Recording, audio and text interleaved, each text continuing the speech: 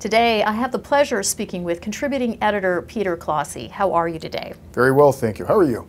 So, Peter, you're a, a, lawyer, an investment banker, and a respected consultant for compliance, and you have been providing us with much needed information about this Canadian anti spam legislation, or CASL as we call it. Can you please explain to our audience why this is one of the most actually uh, shocking pieces of legislation I've ever seen uh, happen? Glad to, Tracy. Um, I've been banging the CASL drum for some time. CASL is so invasive, it touches everything that a business does, and yet we haven't given it the attention and the respect it deserves. Already, companies have been fined hundreds of thousands of dollars for being offside CASL, and yet it hasn't made its way to the mainstream yet. In 2016, this will be the number one issue for risk departments across every business to deal with.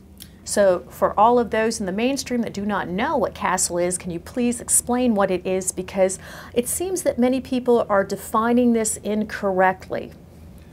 CASL is a piece of legislation with good intentions. It's meant to enhance Canada's economy and increase efficiencies by eliminating waste.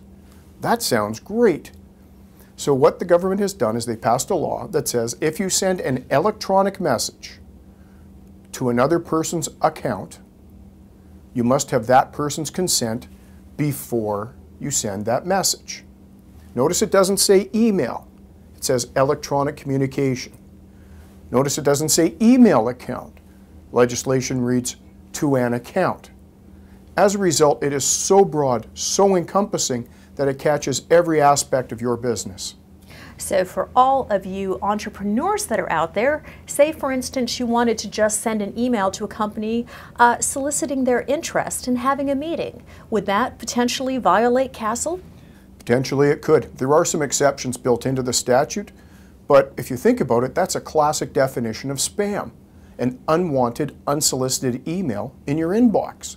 So yes, in most circumstances that would be spam and caught by CASL what terrifies me the most is that in addition to, uh, as an entrepreneur, us being limited by the types of solicitations we can do and marketing that we can do, additionally, we are responsible for all of our employees or anyone utilizing our email address with our company. So for instance, if anyone in my team with an at investorintel.com sends an email to company B and they didn't want it, is it potential? I can potentially be fined. Is that correct? In many ways, it's like environmental liability law. The person who actually affects the spill is liable, but so too can be the officers, the directors, and the corporation that employs that person. I've read that both Porter Airlines and Rogers have both been fined, I think, $150,000 and $200,000. Can do you can you tell us how or why they were fined? And this is what makes CASL so scary. Porter Airlines was fined because its unsubscribe mechanism was hard to find, and Porter could not prove that everyone on its email list had subscribed to the email list. Rogers was fined because the unsubscribe mechanism did not always work. So imagine you're sending an email. The law requires you to have an unsubscribe mechanism built into that email. It must work, and it must work within 10 days, and if not, you face a $200,000 fine minimum, just like what happened to Rogers Communication.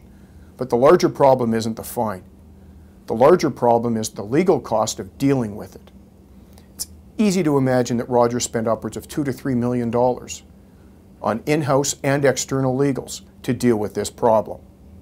That's where many companies are going to get hammered. This reminds me of Sarbanes-Oxley when it first came out. And, you know, is there a castle911.com we can go to? Or, Peter, where do we go for help? Or is this just an, uh, an effort by CASL to employ all of our entire legal system? CASL reminds me of the old joke about the elephant with six blind men feeling it. What an elephant feels like depends what part of the elephant you're grabbing. To the accountants, CASL is one thing. To the lawyers, CASL is something else. What are needed are business consultants who understand CASL end to end and who can help companies find the right software solution for that company. That solution should be minimally invasive and foolproof.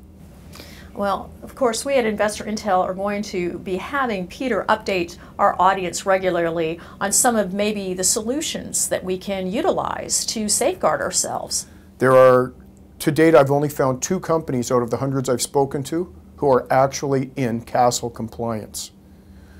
The larger problem that people face is the CRTC recently had a warrant issued, allowing it to go into someone's place of business and seize the email server with the assistance of the RCMP.